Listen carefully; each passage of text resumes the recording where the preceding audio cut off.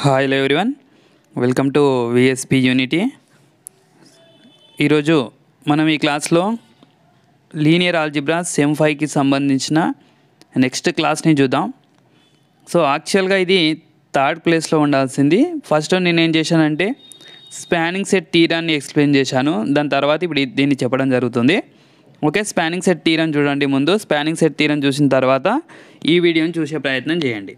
Okay?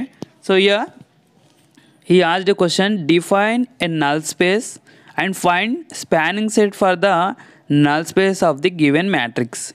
ఇక్కడ null space అంటే ఏంటి డెఫినేషన్ రాసి ఇక్కడ ఉన్న ఈ ఏ అనే మ్యాట్రిక్స్కి spanning set of null space find out చేయమంటుండు. ఓకేనా సో దీనికి నల్ స్పేస్ని అప్లై చేసిన తర్వాత వచ్చిన ఆన్సర్ నుంచి స్పానింగ్ సెట్ని రాయమంటుండు.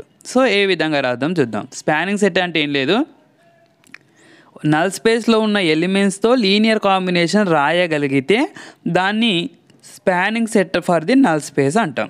అవే గివెన్ మ్యాట్రిక్స్ అంటాం. ఓకేనా సో ఇది కాన్సెప్ట్ ఇది మనకు ఆల్రెడీ జూలై ట్వంటీ వన్ అంటే రీసెంట్గా ఓయూ ఎగ్జామ్లో రావడం జరిగింది. అందు గురించి ఇక్కడ మనం ఇంపార్టెంట్ క్వశ్చన్లో థర్డ్ పొజిషన్లో ఇచ్చినాం.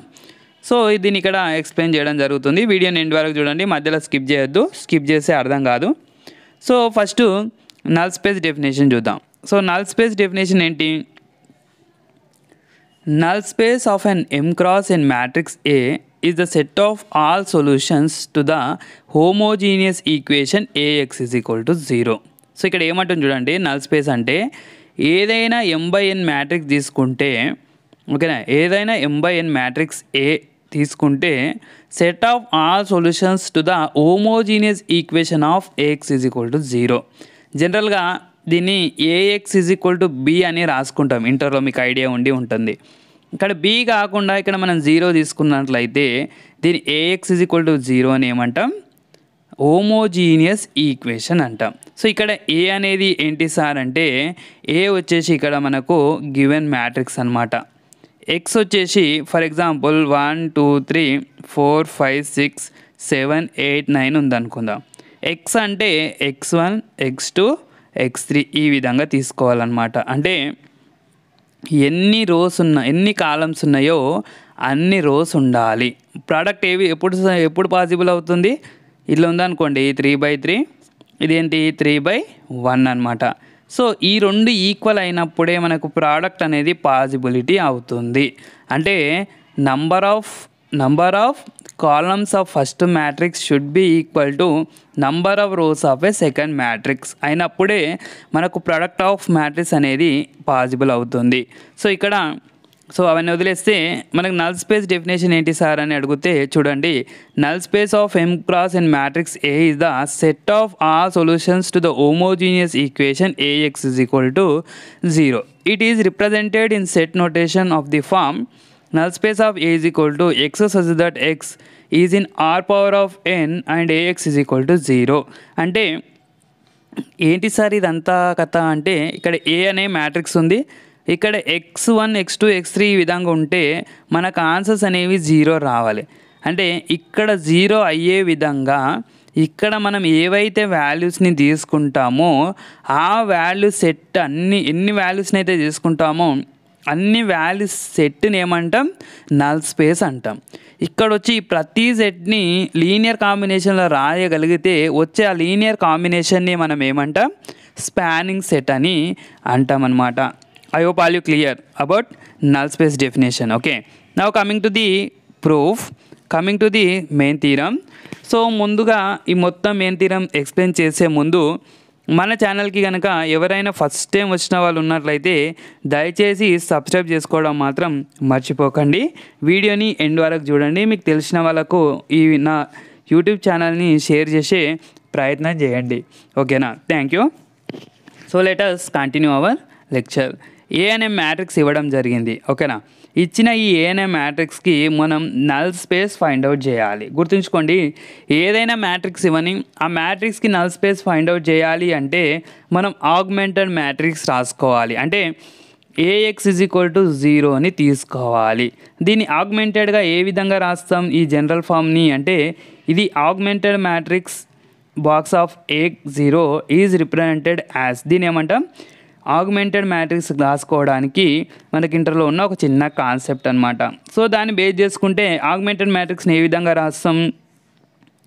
ముందు ఇచ్చిన ఏ అనే మ్యాట్రిక్స్ని ఇక్కడ వరకు రాసుకున్న తర్వాత ఇది ఓ కాదు ఇక్కడ జీరో అనమాట సో ఇవి ఎన్ని రోస్ ఉన్నాయో అన్ని జీరోస్ రాసుకుంటాం. రోకి ఒక జీరో అని రాసుకుంటాం అనమాట అంటే దీని మీనింగ్ ఏంటి?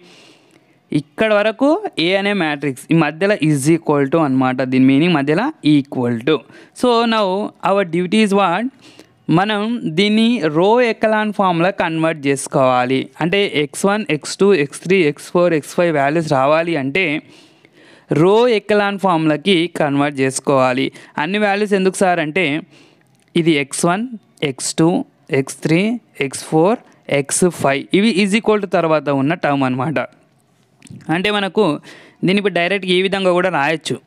Three X one plus six X two minus X three plus X four minus seven X five is equal to zero అని ఫస్ట్ ఈక్వేషన్ రాయొచ్చు. ఈ ఫస్ట్ ఈక్వేషన్ని సెకండ్ ఈక్వేషన్ కూడా ఆ విధంగానే థర్డ్ ఈక్వేషన్ కూడా ఆ విధంగానే రాసిన తర్వాత మూడుని జనరల్గా సాల్వ్ చేసి X one X two X three X four X five values find out చేయాలి. అది ప్రాసెస్ అనమాట కానీ ఇంత పెద్ద ఈక్వేషన్స్ ఉన్నాయి కదా ఇంత పెద్ద ఈక్వేషన్ని సాల్వ్ చేయడానికి మనం జనరల్ ట్రెడిషనల్ మెథడ్స్ యూజ్ చేస్తే టైం కన్జ్యూమ్ అవుతుంది. అందుగురించి మనం ఏం చేస్తాం? ఈ ఈక్వేషన్స్ని మ్యాట్రిక్స్ ఫామ్లో రాసుకొని రో ఎకలాన్ ఫామ్లో కన్వర్ట్ చేయగలిగితే మనకు x one x two x three x four x five values అనేవి ఈజీగా ఫైండ్ అవుట్ చేయడానికి వీలవుతుందన్నమాట. అంటే ఇప్పుడు రో ఎకలాన్ ఫామ్ అంటే ఏంటి అంటే జనరల్గా అయితే ఈ మ్యాట్రిక్స్ అనేది జీరో చేసే ప్రయత్నం చేస్తాం. కానీ ఇక్కడ మనకు పెద్ద మ్యాట్రిక్స్ ఉంది కాబట్టి మనం ఏం చేద్దాం? ఈ టర్మ్స్ అన్నిటిని జీరో చేసే ప్రయత్నం చేద్దాం. ఇవన్నీ జీరోస్ అవుతే ఇక్కడ ఉన్న టర్మ్స్ అన్ని జీరోస్ అవుతే మనకేమవుతుంది? డైరెక్ట్గా మనకు కావాల్సిన రిక్వైర్డ్ సొల్యూషన్స్ రావడానికి అవకాశం ఉంటుంది. వీటిని జీరో చేసే ప్రయత్నం చేద్దాం. సో దానికోసం ముందు ఈ టర్మ్ని జీరో చేద్దాం. ఈ టర్మ్ జీరో కావాలి అంటే ఏం చేయాలి? త్రీ ఆర్ టూ అంటే ఈ రోకి త్రీతో మల్టిప్లై చేసి ఈ రోని యాడ్ చేస్తే ఇక్కడ జీరో అవుతుంది. ఏ విధంగా చూడండి. ఈ రోని జీ త్రీతో మల్టిప్లై చేస్తాం. త్రీ వన్ జా త్రీ. దీన్ని యాడ్ చేస్తున్నాం. అంటే plus into minus minus three. Three minus three ఏమవుతుంది? జీరో అవుతుంది. ఇక్కడ జీరో అయ్యింది ఓకేనా? దీన్ని త్రీతో మల్టిప్లై చేస్తే మైనస్ సిక్స్ అవుతుంది. ఈ నెంబర్ని యాడ్ చేస్తే ప్లస్ సిక్స్ అవుతుంది జీరో అవుతుంది. ఆ జీరో ఇక్కడ రాయడం జరిగింది. మళ్ళీ నెంబర్ని త్రీతో మల్టిప్లై చేద్దాం. త్రీ టూ సిక్స్ అవుతుంది. ఈ నెంబర్ని యాడ్ చేయాలి. మైనస్ వన్ అవుతుంది. ఇక్కడ ఫైవ్ రాయడం జరిగింది. ఈ నెంబర్ని త్రీతో మల్టిప్లై చేస్తే నైన్ వస్తుంది. దీన్ని యాడ్ చేస్తే టెన్ వస్తుంది. త్రీతో మల్టిప్లై చేస్తే మైనస్ త్రీ వస్తుంది. ఇక్కడ దీన్ని యాడ్ చేస్తే మైనస్ సెవెన్ అంటే మైనస్ టెన్ వస్తుంది.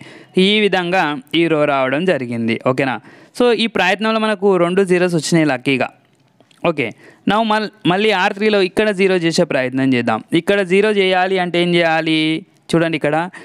ఎప్పుడే కానీ ఆర్ టూ చేంజ్ చేసేటప్పుడు ఆర్ వన్ యూజ్ చేసుకుంటాం. ఆర్ త్రీ చేంజ్ చేసేటప్పుడు కూడా ఆర్ వన్ని మాత్రమే యూజ్ చేసుకోండి. ఎందుకు అంటే ఆల్రెడీ ఇక్కడ ఆర్ టూని చేంజ్ చేస్తున్నాం. ఈ ఆర్ త్రీ చేంజ్ చేసే టైంలో ఆర్ టూని వాడుకుంటే ఏమవుతుంది? మనకు ఆన్సర్ అనేది ఖచ్చితంగా రాంగే వస్తుంది. ఎందుకంటే ఇక్కడ ఆర్ టూని చేంజ్ చేసినాం. మనకి ఇక్కడ కొత్త ఆర్ టూ వచ్చింది. వాడాలి అనుకుంటే కొత్త ఆర్ టూని వాడుకోవాలి కానీ ప్రీవియస్గా ఉన్న ఆర్ టూని ఈ ఆర్ త్రీలో యూజ్ చేయొద్దు అనమాట అందుకే నేనేమంటున్నా అంటే ఒకటే స్టెప్లో రెండు స్టె రెండు ప్రాసెస్ని చేయండి. ఒకటి దీన్ని జీరో చేసే ప్రయత్నం దీన్ని జీరో చేసే ప్రయత్నం చేయండి by using R one R one use చేసుకొని ఆర్ టూ ఆర్ త్రీని జీరోలు చేద్దాం. R two changes to three R two plus R one చేసి ఇక్కడ జీరో అవుతుంది. అదేవిధంగా ఆర్ త్రీని three R three plus two R one చేస్తే ఇక్కడ జీరో అవుతుంది. సో ఇవి ఏ విధంగా ఫైండ్ అవుట్ చేస్తారన్నది ఇంతకుముందు ఈ రోకి చెప్పడం జరిగింది. సేమ్ అదే విధంగా చేయండి. చేసే మనకు ఈ రో కూడా రావడం జరిగింది. సో మనకు లక్కీగా ఇక్కడ ఫోర్ జీరోస్ అయినాయి. ఇప్పుడు ఇది ఒక్క టర్మ్ని జీరో చేసే ప్రయత్నం చేద్దాం. ఏమవుతుందో. సో అంతకన్నా ముందు మీరు ఇక్కడ గమనిస్తే ఈ అన్ని ఫైవ్ టేబుల్ వస్తున్నాయి. ఈ రో మొత్తం ఫైవ్ టేబుల్ వస్తుంది. ఓకే? ఈ రో మొత్తం థర్టీన్ టేబుల్ వస్తుంది. మనం థర్టీన్తో ఫైవ్తో డివైడ్ చేద్దాం. మనకి ఇంకా సింప్లిఫైడ్ ఈజీగా అవుతుంది అనమాట ఎప్పుడు డివైడ్ చేయాలి సార్ అంటే ఈ రో మొత్తం ఒకటే టేబుల్లో రావాలి. ఏదైనా ఒక టేబుల్లో రావాలి. వచ్చినప్పుడే డివైడ్ చేయాలి. లేకపోతే చేయడా చేయకూడదన్నమాట. R two changes to R two by five R three changes to R three by thirteen చేద్దాం. చేస్తే ఫైవ్ వన్ జా ఫైవ్ ఫైవ్ టూ జా టెన్ ఫైవ్ టూ జా టెన్ ఇక్కడ థర్టీన్ వన్ జా థర్టీన్ టూ జా థర్టీన్ టూ జా. మనకి ఇప్పుడు ఏమైంది? పెద్ద నెంబర్స్ నుంచి చిన్న నెంబర్స్కి కన్వర్ట్ అయ్యింది. ఇప్పుడు మన టార్గెట్ ఏంటి అన్నాం? దీన్ని జీరో చేసే ప్రయత్నం చేద్దాం. ఈ రెండుని సబ్ట్రాక్ట్ చేసామనుకోండి వన్ మైనస్ వన్ ఏమవుతుంది? జీరో అవుతుంది ఓకేనా? సో ఇప్పుడు చూడండి దీన్ని జీరో చేయాలి అంటే ఆర్ వన్ యూజ్ చేయొద్దు ఇక్కడ. ఆర్ వన్ యూజ్ చేస్తే ఏమవుతుంది? ఆర్ వన్ యూజ్ చేస్తే ఈ జీరో పోయి ఇక్కడ నెంబర్స్ వస్తాయి మళ్ళీ. నెంబర్స్ ఉన్నాయి కదా ఇక్కడ నెంబర్స్ వస్తాయి. ఇవి జీరోస్ మనం కావాలని జీరోస్ చేసినాం. ఇప్పుడు ఆర్ వన్ యూజ్ చేస్తే ఇవి నెంబర్స్ అవుతాయి. మళ్ళీ మొదటికి వస్తుంది అనమాట అందుకోసం ఏం చేయాలి? ఆర్ త్రీలో ఈ టర్మ్ని జీరో చేసేటప్పుడు ఆర్ టూని మాత్రమే యూజ్ చేయాలి. R three minus R two చేసే ప్రయత్నంలో ఏమైంది? ఈ రో మొత్తం జీరోస్ అయిపోయినాయి. ఓకేనా? ఇప్పుడు ఇప్పుడు చూద్దాం. సో ఇప్పుడు ఏం చేసిండ్రు? ఆర్ వన్ చేంజ్ చేస్తూ ఆర్ వన్ బై త్రీ చేయడం జరిగింది. సో ఎందుకు ఈ విధంగా చేసిండు సార్ అంటే ఇంకొంచెం సింప్లిఫైడ్ చేసుకోవడం కోసం ఈ విధంగా చేయడం జరిగిందనమాట ఇంకా సింప్లిఫైడ్ ఏంటి అంటే జనరల్గా మన టార్గెట్ ఏంటి అంటే దీన్ని ఐడెంటిటీలా కన్వర్ట్ చేయాలి యాక్చువల్గా. Okay? One zero zero zero one zero zero zero one. అట్లా ఐడెంటిటీలా కన్వర్ట్ చేయాలి. చేయడం కోసం మన ప్రయత్నం మనం చేద్దాం. ఓకేనా? ఇప్పుడు R one changes to R one by minus three చేద్దాం. దీన్ని మైనస్ త్రీతో ఎందుకు డివైడ్ చేసిండ్రు సార్? అంటే ఇక్కడ వన్ చేయడం కోసం. దీన్ని వన్ చేయడం కోసం మైనస్ త్రీతో డివైడ్ చేసినాం. డివైడ్ చేసిన తర్వాత ఏమైంది? ఇక్కడ వన్ అయింది. అకార్డింగ్ టు దాట్ ఇవన్నీ చేంజ్ అయినాయి అనమాట ఓకేనా సో అన్ని మైనస్ త్రీతో డివైడ్ చేసాం ఫస్ట్ రో మొత్తంని.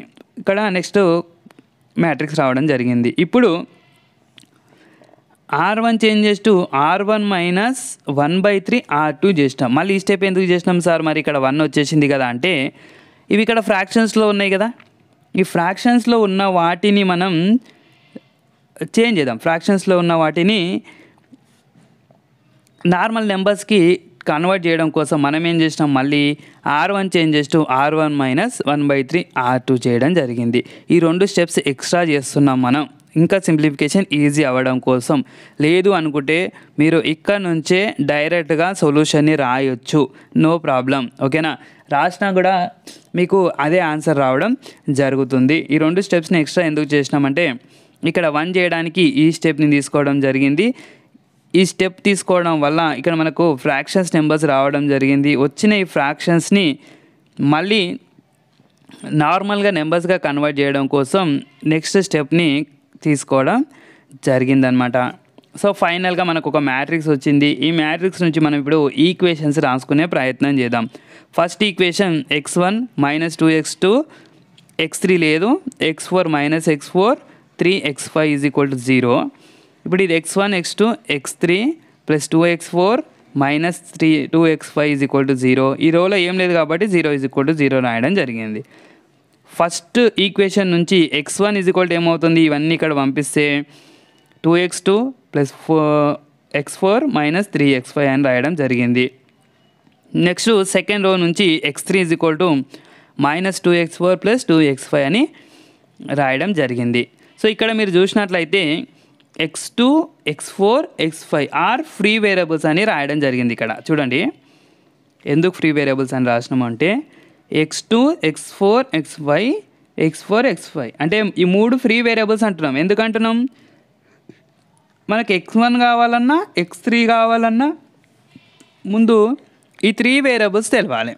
ఈ త్రీ ఆన్సర్ తెలిస్తేనే ఈ రెండు తెలుస్తాయి. అంటే ఈ త్రీ ఏం తీసుకోవాలి సార్ అంటే ఏమైనా తీసుకోండి. One two three three four five six seven eight ఏది తీసుకున్నా మీరు x one x two x four X ఫైవ్ని ఎక్స్ వన్ ఎక్స్ త్రీ రావడం జరుగుతుంది.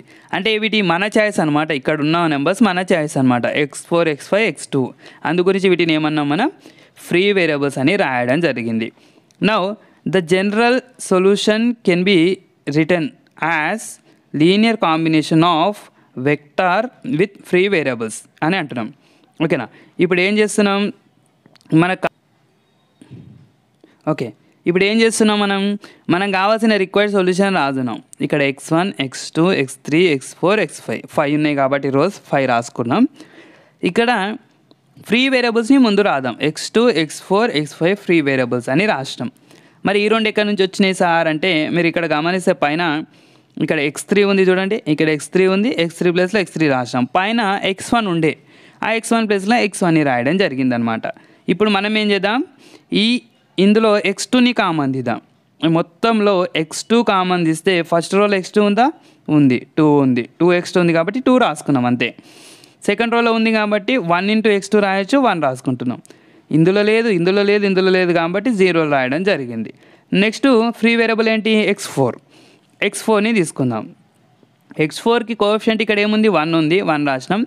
ఇందులో లేదు జీరో ఇందులో మైనస్ టూ ఉంది మైనస్ టూ ఇక్కడ లేదు ఇక్కడ లేదు కాబట్టి జీ సారీ ఇక్కడ ఎక్స్ ఫోర్ ఉంది కాబట్టి కోఎఫిషియంట్ వన్ ఇక్కడ లేదు కాబట్టి zero next x five next free variable x five అనమాట సో ఇప్పుడు ఎక్స్ ఫైవ్ని తీసుకుంటే ఫ్రీ వేరియబుల్ ఎక్స్ ఫైవ్ని తీసుకుంటే ఓకే ఫ్రీ వేరియబుల్ ఎక్స్ ఫైవ్ని తీసుకుంటే నెక్స్ట్ స్టెప్లో ఏమవుతుందో చూడండి. ఎక్స్ ఫైవ్ని తీసుకుందాం. ఇక్కడ కోఎఫిషియంట్ మైనస్ త్రీ ఇక్కడ లేదు కాబట్టి జీరో ఇక్కడ ఉంది కాబట్టి టూ ఇక్కడ లేదు జీరో ఇక్కడ ఉంది కోఎఫిషియంట్ వన్ కాబట్టి వన్ రాసినాం. సో మొత్తం మీద ఇప్పుడు వీటి ప్లేస్లో యూ వి డబ్ల్యూ అనుకుంటే ఏమైంది ఫైనల్గా మనం నల్ స్పేస్ తీసుకోవడం వల్ల మనకి ఏవైతే వెక్టార్స్ వచ్చినాయో ఈ త్రీ వెక్టార్స్ వీటిని లీనియర్ కాంబినేషన్ ఆఫ్ ఫ్రీ వేరియబుల్స్లో రాయగలుగుతున్నాం. మన నల్ స్పేస్ తీసుకోవడం వల్ల మనకి ఏవైతే వచ్చినాయో వెక్టార్స్ త్రీ వెక్టార్స్ వీటిని లీనియర్ కాంబినేషన్లో రాయడానికి వస్తుంది. అంటే since every linear combination of u v W is an element of null space of A ఓకేనా is an element of null space of A అంటున్నాం. ఎందుకంటున్నాం చూడండి? నల్ స్పేస్లో ఏమున్నాయి? X one x two x three x four x five ఉన్నాయి. ఓకేనా?